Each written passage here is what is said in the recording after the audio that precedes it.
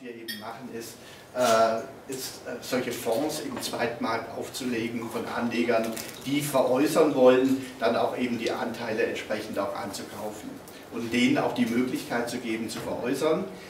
Was sich hier wie so bei den Produkten wie so ein roter Faden durchzieht, ist einmal die Konzentration auf den deutschen Markt. Auch das, wir sind konzentriert auf den deutschen Markt, auf deutsche Immobilien.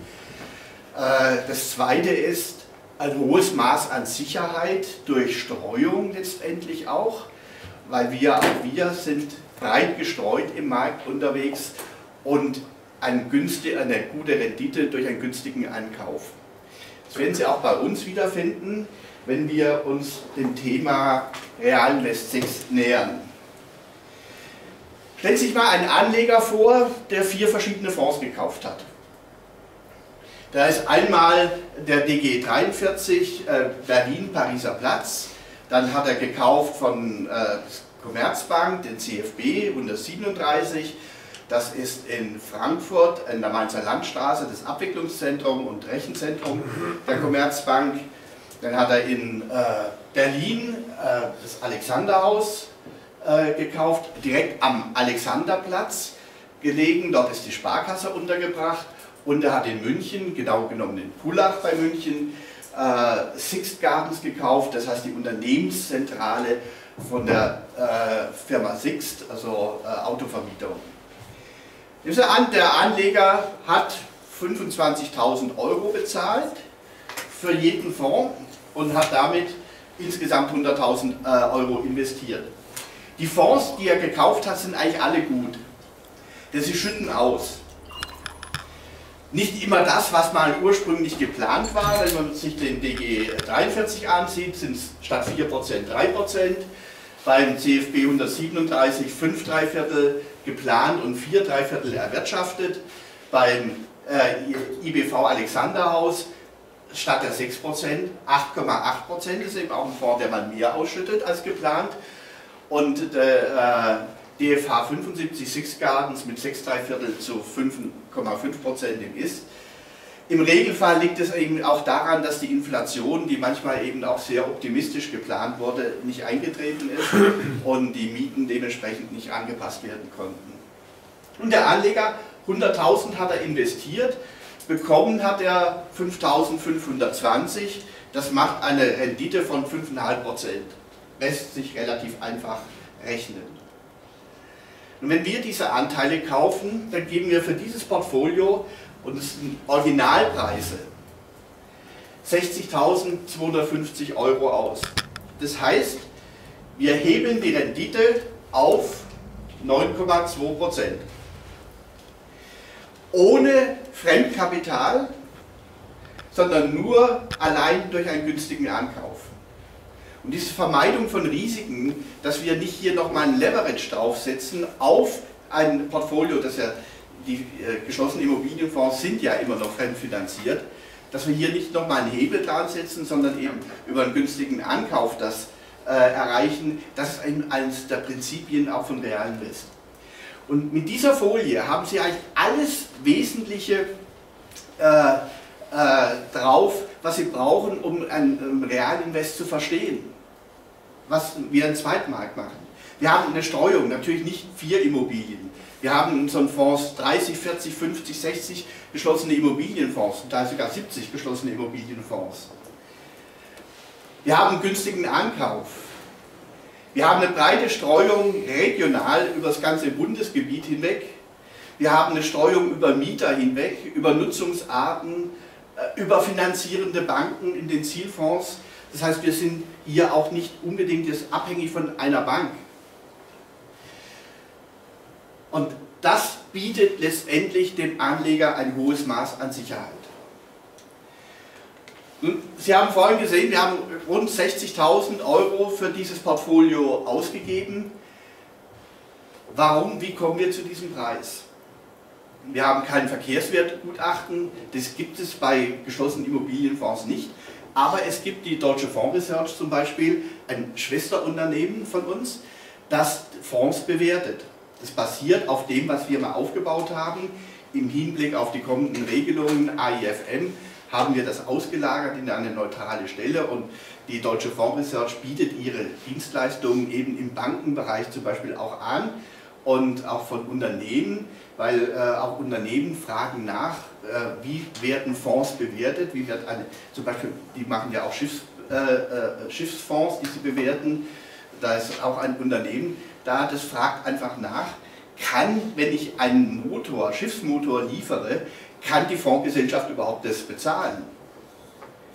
Und äh, die haben da schon einige schlechte Erfahrungen gemacht und sind daher dazu übergegangen, das vorher einfach mal abzufragen.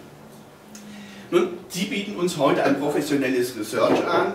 Das heißt, wir haben schon im Hinblick auf AIFM letztendlich die Weichen gestellt, um hier neutrale Bewertungen auch darstellen zu können.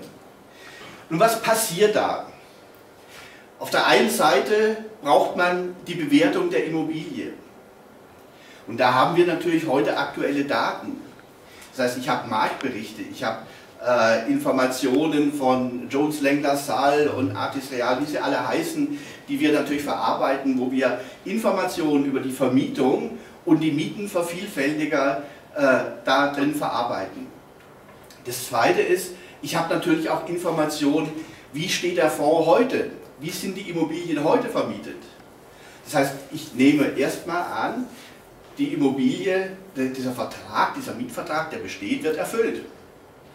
Dann kommt, wenn der Vertrag ausläuft, wird in zwei Varianten gerechnet, einmal Mieter bleibt oder einmal Mieter wechselt, äh, wird dann äh, die neue Miete angesetzt, die Marktmiete. Und gegebenenfalls, wenn Mieterwechsel ist, kommen natürlich noch erhebliche Kosten drauf zu. Finden Sie in kaum einen Emissionsprospekt mal, äh, dass hier ausreichend Kosten mal mit eingeplant wurden. Aber wir unterscheiden uns ja von der reinen Immobilienbewertung. Ich muss ja einen Fonds bewerten und da kommt als nächstes mal großer Kostenblock erstmal die Finanzierung dazu. Und auch da haben wir spezielle Ansätze, wie wir Finanzierungen rechnen. Also wir gehen davon aus, dass die Finanzierung jetzt erstmal durchgehalten wird. Fremdwährungsfinanzierung, auch das gibt es. Schweizer Frankenfinanzierung war ja mal sehr beliebt, sogar Yen-Finanzierung gibt es. Äh, die werden eben zu aktuellen Werten angesetzt und da sieht man auf einmal, dass äh, die Tilgungen, die über 10 Jahre, 15 Jahre äh, erfolgten, dass die schon komplett aufgefressen sind, allein durch den Schweizer Frankenkurs. Und dann kommen die Fondskosten dazu, auch von den Zielfonds entstehen ja Kosten, sodass wir eigentlich machen wir folgendes, wir bauen so die Tapete, die ursprünglich mal im Emissionsprospekt war, bauen wir aufgrund aktueller Informationen nach. Ermitteln die ausschüttungsfähigen Ergebnisse und die werden zu 12% abdiskontiert. Und nach 10 Jahren unterstellen wir, dass die Immobilie veräußert wird. Und 10 Jahre bei 12% Abdiskontierung heißt, der Endwert fließt gerade nochmal mit so um die 30% etwa heute als Barwert mit rein. Das ist der, eben bei 12% Diskontierung ergibt sich das. So, und von diesem Wert machen wir, geben wir einen Sicherheitsabschlag von 10%, weil wir eben auch sagen, es gibt noch zusätzliche Risiken möglicherweise. Und das ist der Wert, der oberste Wert, zu dem wir ankaufen. Das heißt, wir haben hier eine sehr dezidierte äh, Bewertung von diesen geschlossenen Fonds, die wir erwerben wollen. Äh, diese Bewertung wird im Regelfall mindestens einmal im Jahr gemacht, aber im Regelfall viermal im Jahr.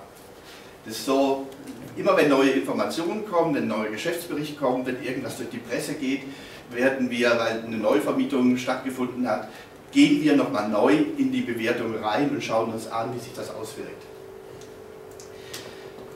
Core-Immobilien. Sie sehen auf Ihren, auf Ihren Plätzen unser Häuschen, das ist natürlich keine Core-Immobilie.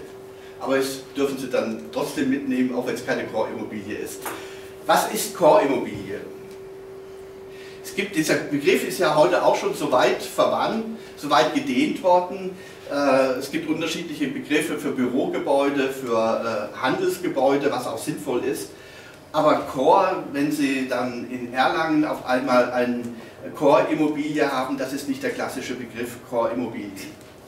Es sind die fünf oder sieben Top-Standorte in Deutschland, also Berlin, Hamburg, Köln, Düsseldorf, Frankfurt, München äh, und dort wirklich die ganz zentrale Lage in der, im Kerngebiet, das sogenannte Central Business District. Das ist echtes Core. Und Core-Immobilien sind gefragt, nur Core-Immobilien sind extrem teuer. Und wir hatten vorhin schon mal so Immobilienrenditen gesprochen. Was glauben Sie, was Sie aus einer Core-Immobilie im Augenblick an Rendite erzielen? Hat jemand eine Idee? Wir haben ja vorhin mal gehört, so 6,5, 7,5 Prozent Mietrendite, äh, das kriegen Sie bei Core-Immobilien nicht. 5? 5? 4 bis 5. 4 ist schon näher dran, irgendwo zwischen 3, eher Tendenz Richtung 4 Prozent etwa. Und stellen Sie sich mal vor, Sie machen, äh, kaufen sich so eine Immobilie mit 4 Prozent, machen ein Fondskonstrukt drumherum, was kommt beim Anleger raus? Weniger. Weniger, deutlich weniger. Deutlich weniger. Deutlich weniger. Das ist ja Initiat, äh, die Kosten am Anfang, die ja von der Investition erstmal abgehen und dann haben Sie auf der anderen Seite, können Sie über Leverage im Augenblick dann auch nicht mehr viel machen, können keine äh, äh, Erhöhung machen, weil die Immobilie auch relativ wenig bringt. Und das ist ein Produkt, das eigentlich für einen geschlossenen Immobilienfonds absolut untauglich ist. Im Zweitmarkt können Sie aber sowas erwerben.